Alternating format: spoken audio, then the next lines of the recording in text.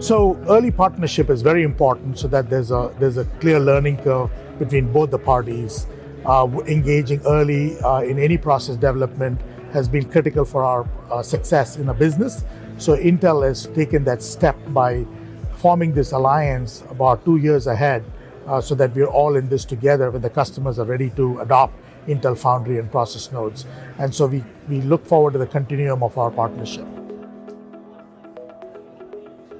I think the industry needs uh, more fabs, more advanced process technology uh, foundries. Um, and given the geopolitical conditions, most of our customers want diversity of, of uh, supply chain. And therefore, I think Intel is a key supplier. Intel has always led in leading edge processes, and it's good to see them back on the saddle trying to take the lead again. The most important thing is the advanced technology.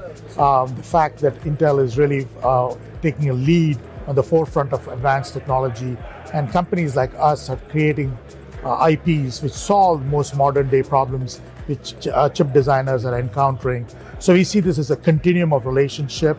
Uh, our foundry partners have always been at least two decades, and some of them into three decades. We hope that we'll have the same journey with Intel.